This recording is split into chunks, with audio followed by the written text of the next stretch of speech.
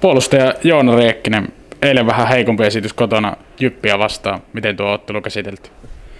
No siinä puhuttiin ottelu läpi ja tämä ei ihan onnistu lähössä eikä oikeastaan muutenkaan. Että kolmannessa erässä saatiin jo hyvin paikka, että olisi voitu siitä voittomaalista tehdä, mutta ei ehkä ansaittu sitä sitten siinä. Puolustuspeli on ollut joukkueella viime ottelussa tosi vahvaa, mutta maalinteko-ohjelma tökkinyt. Mistä löydetään siihen lääkkeet? Kyllä mä sanon, että sieltä se tulee. Paikkoja on paljon ja hyviä maalintekijöitä, niin kyllä ne maalitkin tulee. Tänään on varmasti hieman kovempi ottelu edessä, kun vastaan asettuu sarjakärki Lukko. Millainen vastustaja Lukko on? Kyllä mä sanoin, että siinä on sarjan kovin joukkue, että kovaa kamppailemaan ja luistelemaan, niin varmasti tulee kova peli tänne.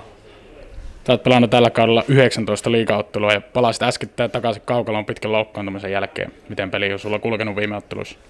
No sanotaan että koko ajan paranemaan päin, että pitkä tauko ollut tosiaan, niin siitä on sitten lähdetty rakentamaan ja koko ajan paranee.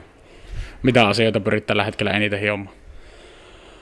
No lähinnä se, mikä on oma vahvuus just puolustuspäässä, että ykkösen iskut ja sitten helppo avaus, niin ne on semmoisia tärkeitä omassa pelissä, niin niistä lähdetään rakentamaan.